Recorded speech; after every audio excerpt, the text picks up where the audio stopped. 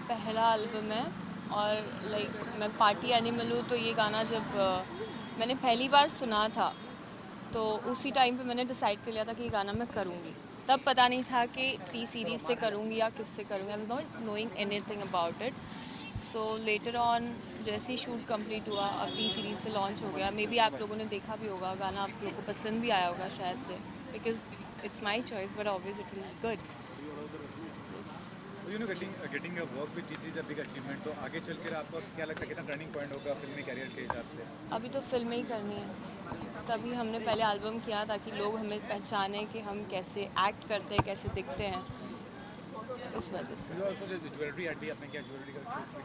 है वो तो क्या है मैं जब छोटी थी तब से have been doing shoots like catalogue and all everything like that तो ज्वेलरी के लिए जब मैंने किया था वो मुझे ऑफ़र आया था एक डायमंड की ज्वेलरी की I don't even remember the name so उसके एज अ फेस उनके लिए फ्रेश फेस चाहिए था तो उसके लिए मैंने उनको रिप्रेजेंट किया था।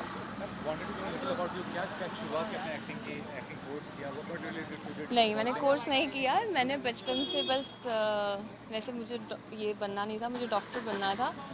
बस फ्रेंड्स कॉमन थे और सबको देखती थी और ज़्यादा तैयार होने का शौक़ था। और ये सब चीज़ें देख के ऐसा था कि बस मॉडल बनूँगी।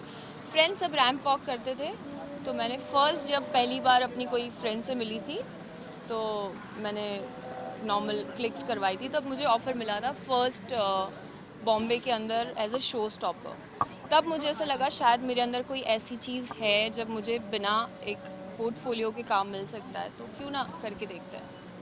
तो अब करे हमने तो बहुत सारे। जीता था आपने 2014 में तो जी हाँ मिस मुंबई जीती थी। वो भी बहुत उस टाइम पे मैंने बहुत स्ट्रगल किया था क्योंकि वो बहुत टफ टाइम था मेरे लिए।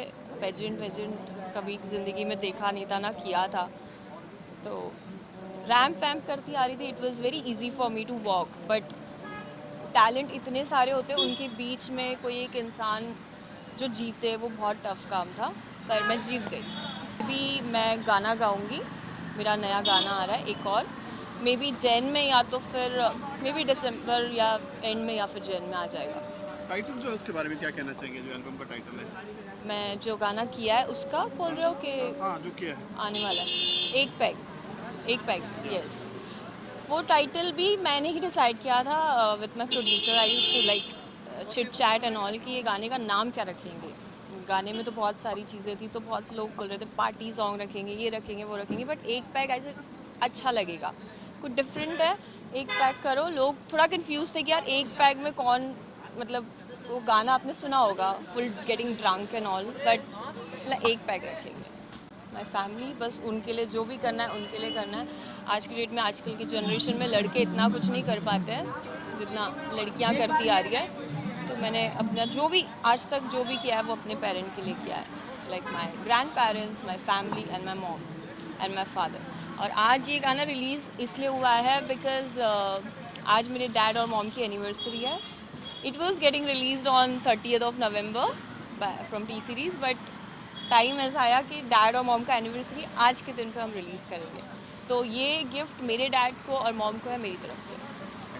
You after such a long time जब कोई आर्टिस्ट इतनी मेहनत करने के बाद कुछ ऐसी सफलता हाथ लगती है तो it of course is very nice it's a very good feeling it's a very good feeling for the artist and of course even for us that you know tomorrow we are, i am hoping, you know, that she goes, succeeds a lot in this industry.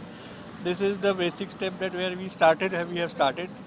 And yeah it is my of course my definite duty to promote her as far as possible and take her to what her ambitions are in this industry. She is really a very talented artist very hard working she has taken her work very seriously and she continues to do so